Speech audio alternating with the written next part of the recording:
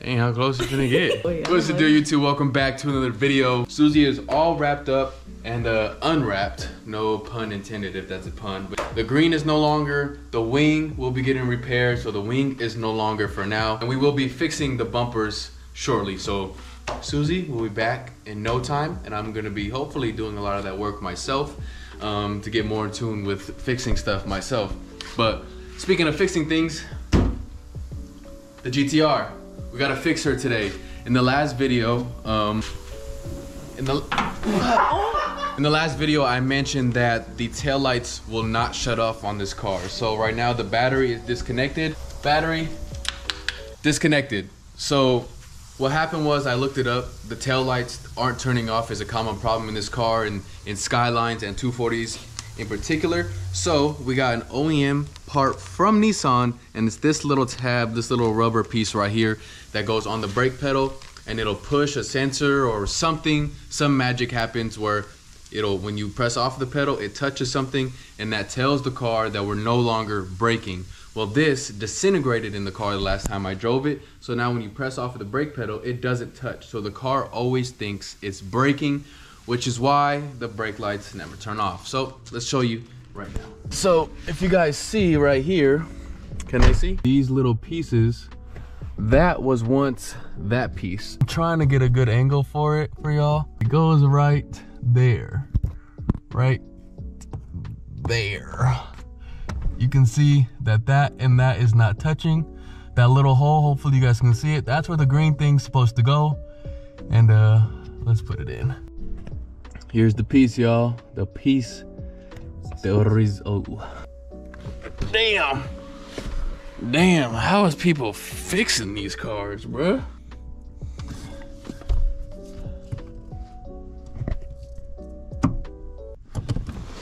Okay. Hopefully you guys can see it. That green piece fully installed. I hope it stays in there because it was kind of weird.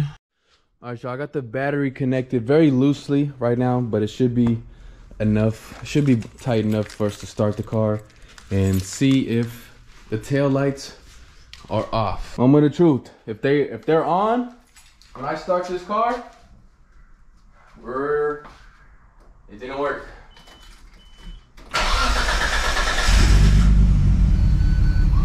She's fixed. Yes, sir.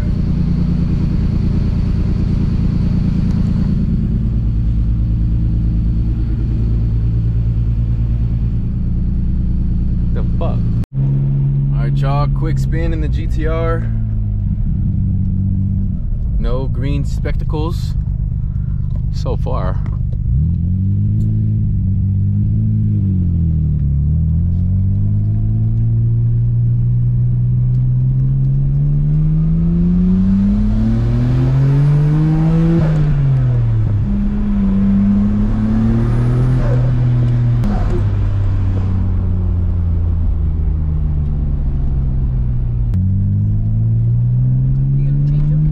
Yeah.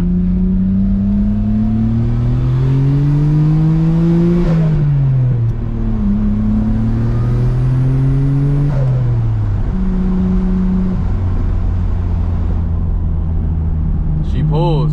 She's happy. Are they recording me? Oh, yeah, they were. oh, I didn't have to light. Got a freshly paved road.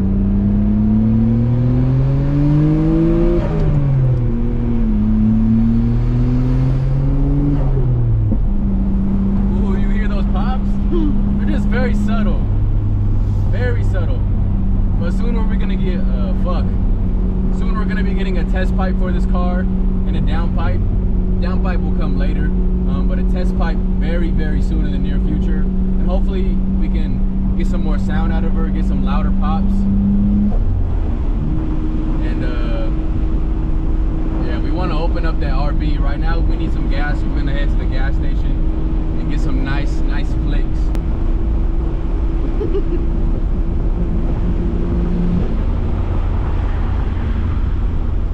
Y'all ready for a downshift?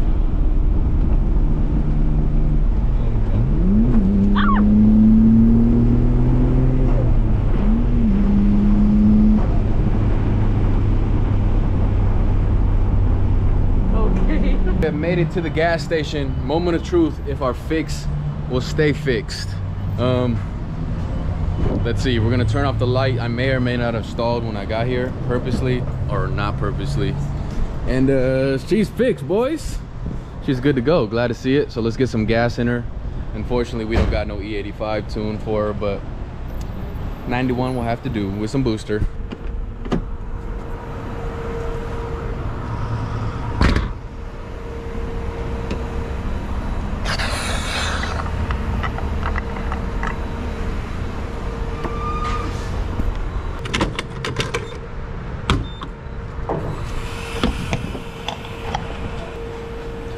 Drink up. McDonald's mobile app today. Please be ready to provide the four numeric code. This is Thank my you. first drive-through experience in a right-hand drive car. So, uh, I don't know. It's always fun to see if people understand or if they don't understand or if they get caught off guard. But you want, um, I want the Oreo frappe. You don't have real cup holders? No, I don't have any cup holders. Thanks for ruining my shot. This is like the opposite of luxury. This is, it's a race car. Thank you. I have to drive Oh, no. manual here. I can't hold my drink. Whoa. Well, I bet you didn't think about that when you ordered it.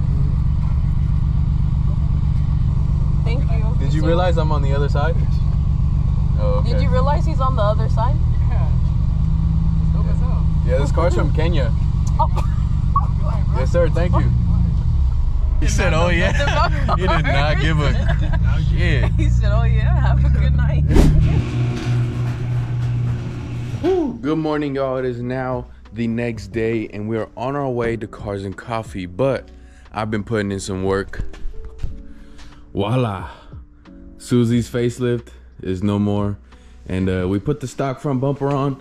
But as you can see, but as you can see, the stock front bumper is in very rough shape. So I'm ordering new OEM plastics, um, this bottom piece from the dealership because even when I bought the car, they weren't in the best shape. And as it's been sitting outside, they've uh, obviously deteriorated quite quite badly. And uh, the front and the paint is gonna need to be clay barred and touched up. Bought a clay bar kit so I can do that last night to try to save the paint a little bit, but uh yeah, I went in there and somebody stole the clay bars out of the box that I bought and I didn't yeah, it's all bad. She looks so stock. Crazy. It's bringing back flashbacks, but it's so fresh. Anyways, let's go.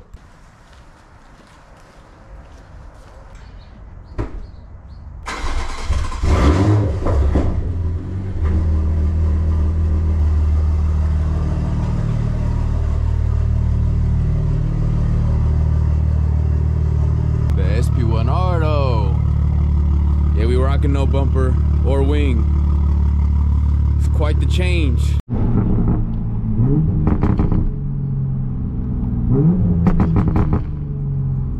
Welcome back, Sue's Booze. To the Should we launch her or what? For the boys?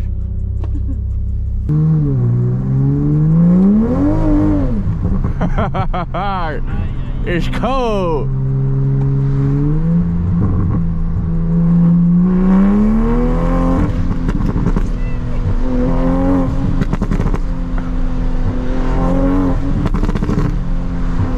Oh, Susie, you're a menace. I know it's cold again. All right, y'all, we have made it. To cars and coffee. Susie is in good company, as you can see, but she looks rough, boy. Uh, we gonna get her. We gonna get her right. My boy over there with one of these Supras. I think it's this one because he said he had a wing. Um, recommended me to Dial or DOS Auto House, something like that, to get the rear bumper painted and uh, maybe get this repainted because that bumper needs some attention. And we're gonna be getting all new plastics from Toyota themselves. But yeah, he has a nice little lip. What lip is this? No idea. We're not getting this one. It looks good though. Um, but yeah, this is pretty much how Susie, the vision for Susie coming up in the near future. This is a, he did like a, like a fade paint. That's kind of cool. That's different. I've never seen that before. And it is now the third day in this video, I think.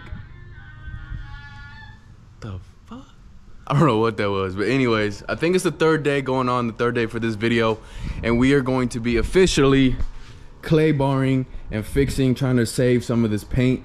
And uh, I have ordered all new plastics. All of these plastics right here, they're definitely most likely savable, but I don't want to do that at this moment. I'll probably save these later, but I I bought brand new OEM plastics all to go and replace the bumper and then we'll likely have to repaint it and we will be getting brand new emblems as well. I'm gonna be going a little bit different route than OEM, but kind of the same. So I had bought a clay bar kit from Walmart, got home, clay bars were not in there. I got robbed, somebody stole them. You know, it is what it is. Motherfuckers is thieves out here. But so I had to go buy a new one. So now I got all the quick detailer that I'll ever need in my life. And uh, but that's okay. We're gonna get ready. I'm trying to save this paint today. So we're gonna go ahead and throw some soapy water in this, spray it down, get the clay bar, start scrubbing away. And that's it. There ain't really much to clay bar and stuff besides keeping the surface wet and clean it until it's smooth. Hey, the G looking good though. I can't believe this car, well, looking good as she's she's gonna look for now. Can't believe this car is actually 20 years old. Crazy.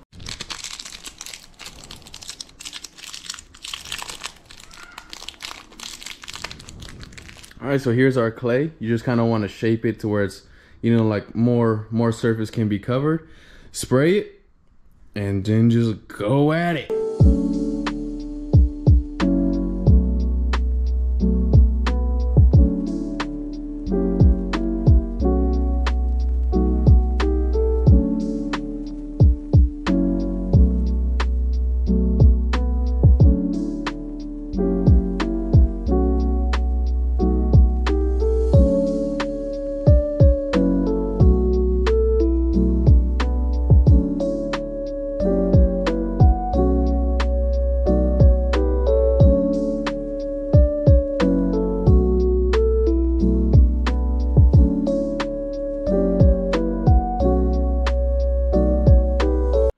The first go over is now officially complete. The paint feels back to buttery and silky smooth. You know what I'm saying? Look at that. Silky smooth. You don't feel don't feel like sandpaper, you know, other than like kind of like down here. Just just a little bit, but like it just my hand just glides right over it. That clay bar stuff works so well. Before this, like if you would have touched the bumper, it just felt gritty like sandpaper and it was disgusting. It kind of brought some of the plastics back to life. Um, I didn't really wipe this one too well now, did I? The paint is is pretty much back to life other than like, you know, we got to touch up a few things. Also, I noticed um, I threw the front bumper on in about 10 minutes by myself and it's pretty damn good. Um, but I noticed that it's just slightly off, so I'm probably gonna have Mrs. TYB give me a hand while I realign it, rebolt things back up. So she's mint. I also didn't know that I live next to Squidward. Okay, so I ended up readjusting the bumper myself. I just kind of halfway unloosened all the bolts and then kind of just, you know, moved it a little bit. But the gap that I was worrying about seems like it don't matter how I move it. It just, there's supposed to be a gap there for some reason. Like here and here like that seems really off and i know this gap right here is a lot worse than this gap right here because i am missing the bolt that goes here. So it's kind of sagging down a little bit. I either have to find it somewhere. It's either at my uncle's house or it's gone. So uh, i don't have it. Don't know where it went or where it could be. But either way if i have to buy a new one i'll buy a new one regardless because this gap nobody may notice it but now you watching this and me are always going to notice that gap and it's going to piss all of us off